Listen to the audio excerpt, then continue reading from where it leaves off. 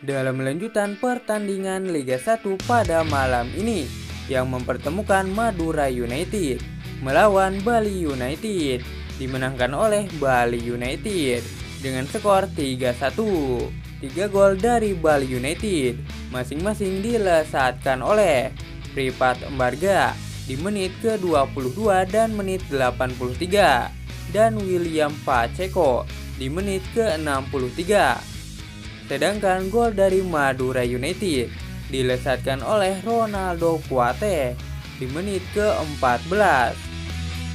Data pun menunjukkan Bali United dominan di laga ini dengan berhasil menguasai bola sebanyak 61% dan berhasil menciptakan 6 tembakan dan 3 tembakan berbuah gol.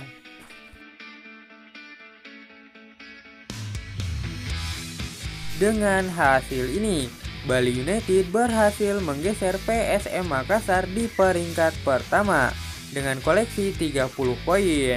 Sedangkan Madura United harus puas menempati posisi keempat dengan koleksi 26 poin.